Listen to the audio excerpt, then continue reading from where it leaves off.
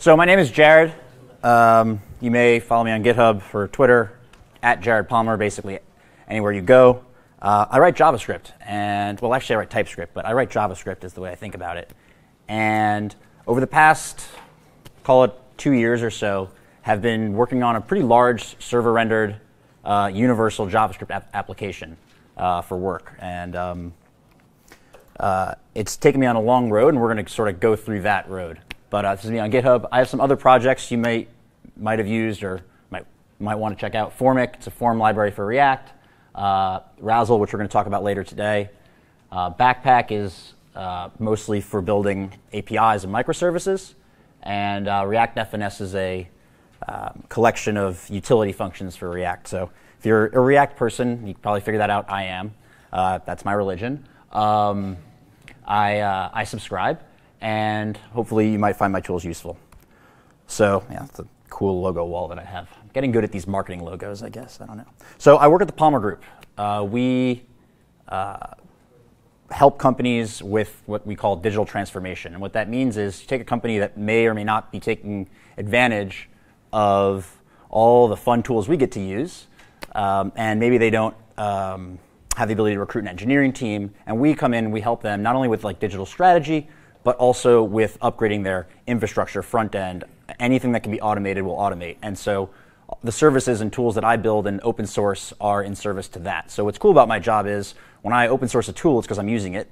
And when I when people like submit PRs or find bugs, it's in my best interest to go fix that because it's something that I use day to day and that is used on client projects all the time. So it also means that the stuff that I do publish is pretty battle tested. So it's not just like oftentimes a weekend hack or something like that. So we're hiring. So if you're awesome at JavaScript too, and well, maybe even TypeScript as well, come see me after the fact. So back to server render JavaScript. So I was building this app, building and have been building this application, and it's before we kind of get into looking at some sites, we need to make some distinctions and level set about content. So I like to think about content in two ways. There's dynamic content and static content. Static content can be generated ahead of time. Uh, it doesn't change very often. Thinking like what's and what's often. I mean like several times a day maybe. Um, or there's so much of it that like it's impossible for the pages to maybe be regenerated. Um, this is how WordPress works in PHP. Every single time you load a page in WordPress, which it will hit the database out of the box and find some information, print the page. Um, it, there's no index.html. That's on a dynamic content. With static content, you could basically have some piece of static content can be served up from an S3 bucket. Uh, and there's some cool things that um, static content can let you do. Uh, you don't have to worry about security as much. You uh, don't have to worry about scaling your server or anything like that. But it has some downsides as well.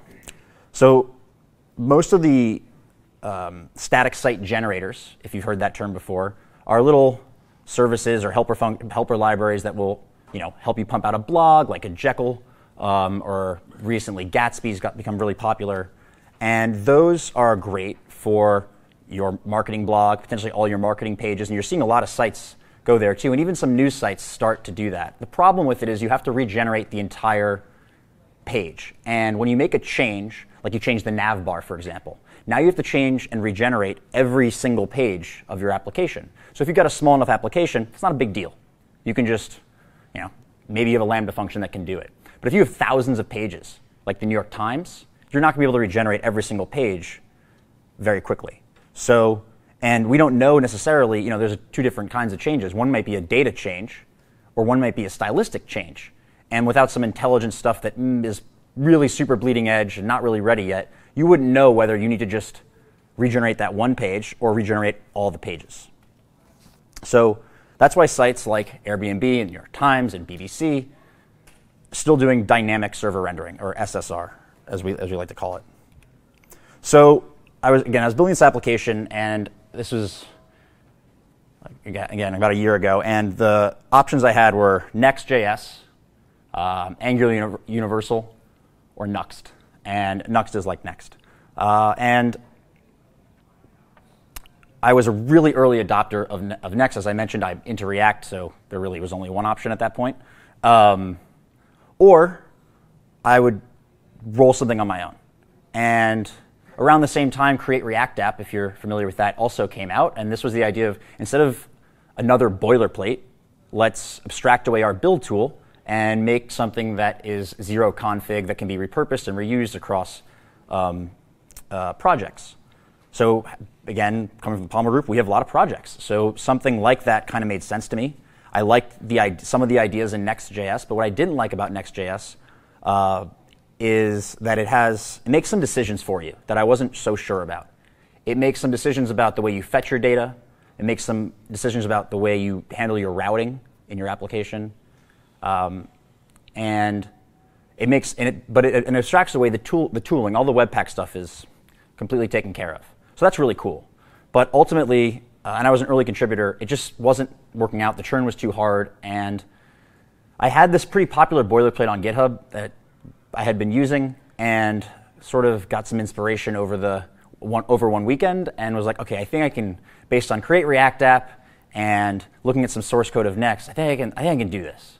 So that's what I did, and eventually I came up with something called Razzle, and the goal was I want to have the same developer experience as Create React App has, which is this awesome Create React App, my project, and boot up, you're ready to go in 35 seconds. I wanted that experience, but with truly universal JavaScript and universal React specifically. And prior, and I wanted hot module replacement. I wanted all the DX that Create React App had, but with universal code. And that was the aim of the project. So, with that, it's time for demos. Um, and but just to pull, push home the point here about what kinds of application, what kind of sites we're talking about for that, that are good candidates to use Razzle. So Gatsby again, this is a static static site generator. If we go to Stripe's dashboard, you know, if your app starts with dashboard or app dot, this conversation that we're about to have is not as potentially useful. But what I will say is the, the philosophy and architecture behind Razzle is, pro, is you know, is, is will can be found interesting to you because of the way it stays agnostic about the frameworks, and we'll get to that later. So, if you're not doing this kind of like uh, site like BBC.com, for example, um, this article they really want SEO. They want this to be shareable on Facebook. They want uh, when you view source, they want these meta tags to be there. And because the BBC has thousands and thousands of pages, it's not reasonable for them to regenerate their entire site or even potentially all um, parts of their site in a timely fashion as fast as the news cycle. Um, so Razzle's used in production. We're going to show that in a second, but it's used in production on some cool sites. It's used on Cars.com, so shopping for my Rolls Royce, obviously. Um, so yeah, it's, it's, this is built with Razzle. Um, and what's cool is that actually Cars.com's some of their some of their Razzle stuff is published on GitHub too. Uh, Coinbase.com uses it as well on their marketing side, so their public facing sites. And we use it in uh, a bunch of our applications as well. So, um, Jared Palmer slash Razzle on GitHub. And the, the, the catchphrase is create server rendered universal JavaScript applications with no configuration. And we'll get to that in a second. So, when you boot up Razzle, what's cool about it is it's a single dependency and it's a, de- uh, it's a developer depend- uh, dev dependency. Here it is right here. And you can install using yarn create, yarn create Razzle app, just like you would with React app, and boot up uh, an application in no time. Again, it's just, or you can just add it to your app, existing application. And so let's start this up. Uh, yarn start. And you'll notice on the side here, can we all see that? I zoom in more. Notice on the side here, there's not a lot of files to get started. There's an Express server, which looks like an Express server. And if you were to go to the React docs and look at how you do server rendering, it's pretty close to exactly how they have it there. You just call render to string. And instead of reading from a file, here's my template. Razzle will handle all where the all the assets, JavaScript, and boom, React markup. Export default server. That's it. That's all you have to do. And here's my app. It's a little React component. And my client is going to mount React and around with uh, React router. Uh, and that's all she wrote. So let's see what that actually looks like here. So some React code. And when I make changes, let's go over here a little bit. And when I make changes to this code, some awesome React code and press save. Boom. Now, what's cool about this is this is not like turned off. This is writing, this is some React code, right? And what's great about that is when I press refresh, this is server rendered. So view source works exactly as you expect it, um, which doesn't seem super magical now, but the, to get here, Razzle has to do some pretty interesting stuff. So create React app and a lot of the SPA stuff you're probably used to has one instance of Webpack running. The way Razzle works is it actually has two instances of Webpack running. One instance is responsible for bundling your client code, and the other one is responsible for bundling your server code. Uh, they have so there are two entry points. First is client.js, which is where you mount React, and the second is actually index.js. And this code actually allows the server to hot reload the same way your client application would hot reload. So you get all the benefits of hot module replacement, which is that really fast save I just showed you, and you also get um, on both the server and the client. So the default for Razzle is React, eh, but it can be used, and after I built this, I, I sort of started to realize this, it can be used for other things, because ultimately it's just a really nice configuration of Webpack. So with Razzle's API, you get the full ability to like get closer to the metal, which is not that close, but closer to the metal. So you can customize Webpack however you want, and so you can, for example, use Razzle with Reason React. Um, and so here's some here's a Razzle app that's built with Reason. Let's start this one up. And it's compiling. But yeah, some Reason code. And re- the way Reason works is there's a BuckleScript compiler, and if you ever play with this, it will it's really fast. And what it does is it ends up compiling your Reason code. If you've never seen Reason, this is how it looks um, into JavaScript, and then you import that JavaScript back into your application. Um, you can see the JavaScript will be outputted here. Or here you go, ES6 Global. So you import that back in your application. Here's my here's my app that's written in Reason, and when I make changes in Reason, let's go find this counter code. We'll call this counters. It will just update. Don't have to think about it. So again, so because the build system's abstracted, you get a lot of power. And to show you just how much power you get from abstracting your build system and remaining mostly framework agnostic, we're going to go on a journey of an application. So we already had this React app, but now we're going to get wild and add Vue to our application. So we're going to have React and Vue with universal server rendering on the same page at the same time uh, with Razzle. So let's boot that up. So Razzle X allows you to, I said before, like get access to the underlying Webpack configs, and you do that by starting a, uh, adding a razzle.config.js file, and you can just have at your Webpack config. So this is me adding Vue to the existing React app that Razzle starts with. Um, don't need to get into it too much, but it's just modifying Webpack. If you've ever I think I could change my LinkedIn to professional Webpack configurator at this point, but like I hope you but I hope that you don't have to. And so this is pretty nuts. So this app, we'll look at it in a second, is going to boot up. We're on port 3000, so let's refresh here. So I got Vue and React on the same page. How did that work? Well, I imported Vue from this is my server and the required stuff to render Vue on the server, Vue server renderer. I still kept my React code, and we'll get to that file in a second. And I call what's required to render Vue and what's required to render React. And then I'm going to dump them on my page. In my client, I'm going to do the same thing. I'm going to mount Vue and also mount React. Here's my app dot, er, my app.vue code, and let's edit some of that right now. And there, boom, I added a new little nav bar here. So I have hot module replacement, and I have two frameworks running on the same server right now. But times, you know, needs change. You know, it's, nothing's forever. And the new thing comes, you got to stay on the latest bleeding edge of JavaScript, right? So, I don't know, like Vue's pretty cool, React's pretty cool, but you got to be, um, you got you got to stay ahead of the game, right? So let's take this a step further. let's add Elm. Why not? So, whoops.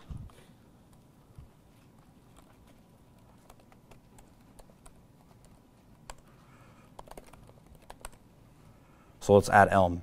And again, all I'm doing here to add these different frameworks is go into my Razzle config, run a function, and here's my Vue stuff, and now here's my Elm stuff, and I can just have at it. And let's make sure this works. So we'll add Elm here. Some Elm code. Elm's pretty cool. So app.elm, let's edit some Elm. Make sure this all works. There we go. So if you're a site like Airbnb or a site like BBC, and you're probably not going to do this craziness, but this isn't actually that far from the truth, right?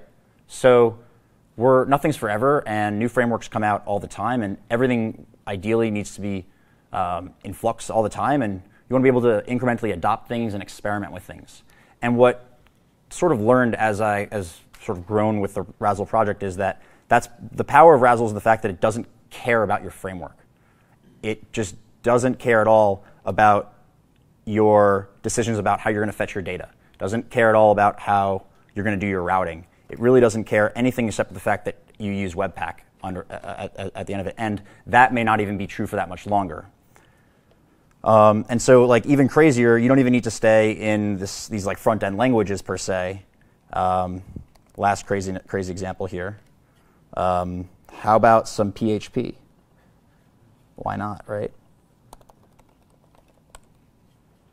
So this is this is this is pretty nuts. We're going to write some React in PHP. Is that really how it works? We're going to write. Yeah, I guess that's how it's working. Um, LOL.php is the name of the file. Um, so this is insane. This is some, something I found where it's called Babel preset PHP, and it takes PHP code and it transpiles it back to JavaScript. Um, so if that's the case, why can't I just use React in PHP? Like, who knows? This is the next generation of what's to come. I, I think everybody's going to be on this grind soon. Uh, what a better, what, you I mean, look, you got inline styles, everything you need. CSS and PHP. How about that? This is probably the first time anybody's ever done that, right? Um, and you get like all this functionality. So let's just make sure this is running, right? So, boom, some PHP code in Razzle. Let's do it. And let's see, let's make sure this, does this work, this click? Let's see, where are we here? Some React code, click. Oh, we got the alert going. Pretty cool. So to do this, I actually had to do like, okay, I took some funny comments. Um, but yeah, so we add extensions to Webpack. Babel, uh, sorry, Razzle exposes some helpers to make managing your Webpack stuff pretty fun. Um, so Razzle 2 actually just I just released Razzle 2, and there's some serious upgrades from Razzle 1. Uh, with Razzle 2, the thing you're seeing now, it's like an 800% increase or decrease in reload time I get. Um, so it's lightning fast, and but even cooler is that um, this is kind of a mess and kind of a leaky abstraction. What I'm showing you right now, this this Webpack file, right? Like you kind of need to know how Razzle works. You really need to know how Webpack works. Eh, right? What if you didn't have to deal with that? So today, you can get rid of this all and do something kind of cool. Plugins, Elm, Vue, because this is the same app, we're just expanding on it, right? PHP and React is baked in.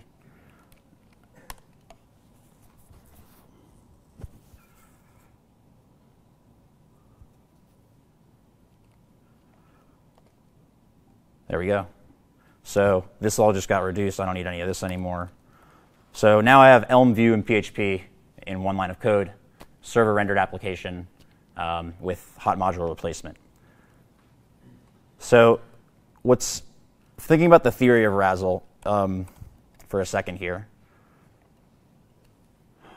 It's important, even if you're not building this kind of specialized application like this Airbnb type listing site or a news site, to abstract away your build tool and build toolchain from your source code of your product or product code. Why is that? One, you're going to probably have more than one product eventually in the life, lifetime of your company, and you can move this, you can repeat, repeatably um, and consistently spin up new projects, you'll be more willing to experiment, uh, more willing to try new stuff. Furthermore, it lets you do crazy stuff like this, which is pretty fun. Um, but also, it's not going to, with the, the, pace of change, the accelerating pace of change of front end, uh, you just don't know what's coming next. And the best way, I think, from a, um, the best way to position yourself is to position yourself for change and for adaptability. And, you know, some people love convention. Uh, the Rails community has adopted that. And I won't say that Razzle doesn't have some conventions to it because it does but ultimately you're in full control. The way I like to think about it is Razzle comes with a battery pack included, which was like the best kind of toy when you were a kid, right? You, you just it just worked. Now everything kind of has that, right? But when you were a kid, like, oh, this toy had a battery pack included. That was awesome. But it's important to give developers too the ability to, you know, get their hands dirty and have complete and total custom, uh, um, customization um, uh, control over every aspect of the application. So this is where I differ with like the create React app philosophy, where you're forced into exactly how the Facebook and general React community wants you to do things, and then you have to eject and forego any further updates. But with Razzle v2, for example, Coinbase, Cars.com, BBC got all the updates um, for, for Razzle as well, and they were able to maintain their modifications. So that's where the power of this abstraction, this over Webpack comes, and this idea of abstracting your tool chain instead of having a boilerplate. Because ultimately, if you just have a boilerplate, one, you're probably not your your product, unless I'm mistaken, is probably not uh, Webpack configuring. It's just not what your company probably does. So like save, let me handle that, and let the people who help me with Razzle handle that, and ultimately you'll probably be better off and spend more time focusing on your product and less time focusing about like making it fast or bundling and all the things that are kind of messy and dirty and annoying um, and not always repeatable like product to project to project. Uh, so with that um, i'd like to thank uh, everybody here for, for coming and open it up to some questions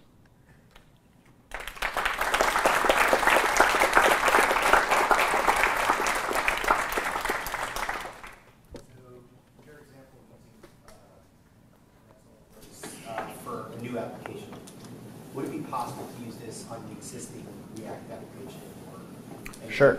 So, great question. The uh, Razzle's built with create React app kind of in mind, in the sense that while you may need to make some changes to the way you route and lift up, lifting up your data fetching, uh, the CSS is the same by default from create React app. So um, it, you can you can make the migration. Um, it's possible, yes, absolutely, um, and you can even add it. You don't even need to use Express. You can use Koa. You can use whatever you're doing to, to do that. There's another project, Backpack, of mine, which is um, something that uh, can also be used with Create React App to get a very similar um, effect as Razzle. You can use Backpack if you want to to take your single page application built with Create React App and read it and then inject whatever like server side code you need. Um, the company Spectrum, you guys use Spectrum, Spectrum Chat like Spectrum.chat. Max's application, that's what they do. They use Backpack to take their CRA app and then um, read the file and inject information into it that way. Razzle is basically the marriage of that concept together, done for you. Yeah. About your example where you like added exclamation points and it just updated the page. Was it was it pulling down the entire server side rendered page, or was it just pulling out a little snippet, but also the server side updated if you ever uh, reloaded? That's exactly right. It pulls in, it uses hot module replacement. So on the, on the client, there's Webpack's module.hot accept. And so it's going to, Webpack will do to the best of its ability. Um, just change the code that's changed. And the, Razzle uses the same um, hot client that Create React app does. And if you go to refresh the page, um, it will obviously show that the node server 2 will have refreshed at the same time. And that's why Razzle runs on two ports. One port is for the client, and one port is for the server. Um, you can get into situations where um, the hot client will fail, and then it will the it falls back to a full page refresh. yeah. Yeah. I'm curious to see like what the network traffic is between like, when you make a change? And Sure, absolutely. So this one's going to be interesting. So let me zoom in on that.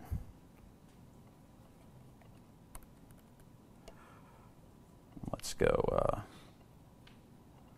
oh, actually, let's not do that. Let's do it on the side so we can see the outputs. Okay, so if I make a change here uh, to some React code, this is some React code you'll see the console. So that code changed. The Vue thing gets kind of annoyed because of this. It thinks it's not there, but it's fine. Uh, if you want to see the network requests, um, here you go. So let's refresh the page. So this is the socket from the Webpack dev client connecting. Um, and if I make some React code changes, you'll see the hot update come in. And that looks like a mess. And those are the XHR requests, so let's see the rest of this. So let's see the actual um, the socket there, the bundle's here, the injection code is here, and this is the actual um, hot, I guess, partial part of code right here. Yeah, and this is the hot update itself coming in. So let's do that again so we can see it in live. So there's another hot update that just comes in and gets injected.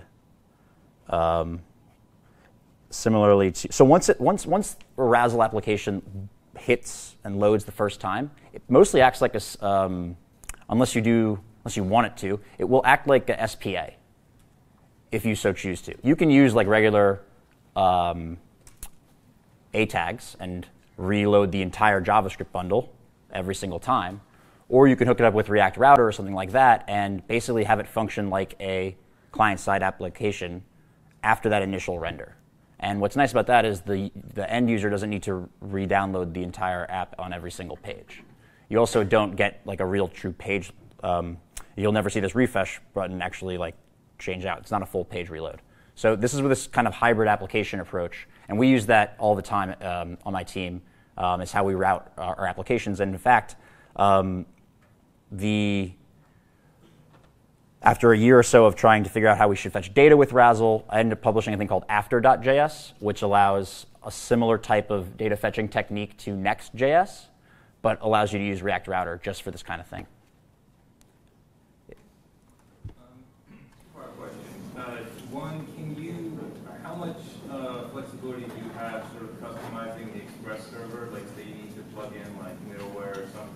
Sure. Um, you can use Express. You can use whatever uh, Pol- Polka, Koa. It's actually going to be part of the end of my talk. I was going to switch this out for Koa, but um, yeah, I mean, you can just add. Let's take away some of this. Uh, we could add body parser here. You have full customization. It's just your server. You're in control. Um, so like we can delete. And, and the second part is um, in terms of say data fetching. Uh, just to elaborate on that a little bit, like what is the best practice in terms of where you would fetch that data? It from the front end? I guess you have the choice, right? You have the choice. Um, that's sort of what the impetus was for me to publish after, because it's just how we fetch data. Um, but it's specific to React.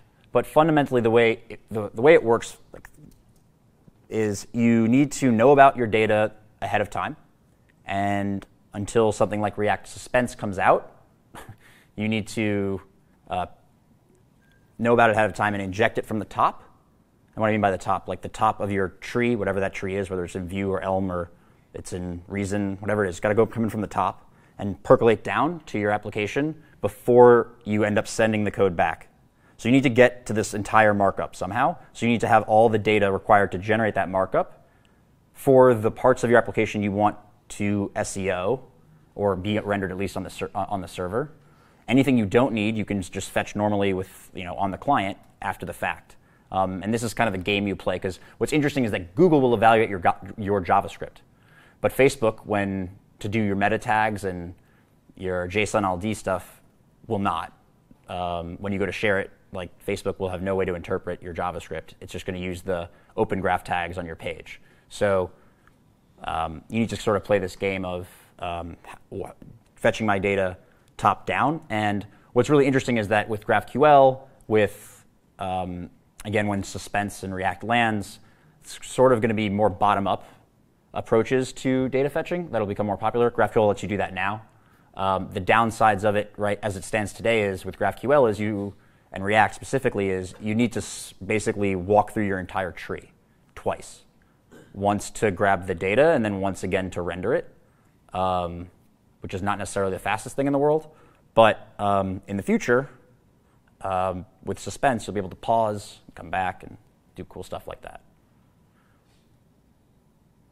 Um, any question? When you were uh, cleaning up the Razzle config, you have added, uh, I don't know if they're presets, but just for Elm, Vue, and PHP. How come you didn't have to add anything for React? So React is the default. Um, it just comes baked in, and uh, the reason for that is that I'm not necessarily going to publish a React plugin right now is because I want to maintain backwards compat, and if I rip out that, it will probably blow up people's apps. But maybe one day. Uh, we'll be adding like CSS plugins, SCSS plugins, things you could already do, but you'd have to configure. And because this is just a function at the end of the day, you can publish this to npm. Uh, this is the, the, mo- the modify functions are, and there's some cool examples like cars. You can see cars.com's uh, TS. This is cars.com's modifications, and what they add to it is pretty cool. They add um, some service worker stuff, some PWA stuff, um, and generalized um, style lint, for example. You can go to town and then publish it up to npm, share it amongst your team, just like you would your ESLint setup or something like that. Um, again, abstracting away all the tooling. Cool. Any other questions? Uh, speaking about the other tooling, how does this interact with something like my testing framework or uh, code coverage or any of that kind of stuff, right? I don't see a generated Webpack config. How do I pass that through kind of thing? Are you talking about for like something like Storybook where you have to like pass in? Oh, the question was how does Razzle work with your test framework, right? Sure. Okay, so Razzle actually not shown here. Razzle comes with Jest set up like for you, eh, with the same defaults that Create React app has. So um, it, that that's for starters. You just get Jest out of the box. We use Cypress actually. So if you were here for the last talk, we do use Cypress all the time. It's great. What's kind of interesting is we flip between Jest for our unit tests and Mocha and Chai for our um, Cypress stuff. But what ends up happening and what's really cool, and when we're building forms, I'm working on Formik. On um, what I'll do is I'll put Cy- I'll run Cypress and Cypress hot reloads, and I'll I'll run Razzle because you want to run your integration tests, right? And Razzle hot reloads. So when you make an, if you were trying to like test a form and you're always like, oh my gosh, I have to fill this out again and fill this out again and fill this out again. You don't need to do that anymore. It's just run Cypress, run Razzle next to each other, make your code changes, write the integration test, and everything just magically updates um, and just keeps going. So it, I, Razzle's as agnostic about your Webpack setup as your test framework. But again, battery pack comes included. Cool. Well, thanks again, and thanks everybody for, uh, for coming, and thank you BuzzJS for inviting me. Glad this all worked out.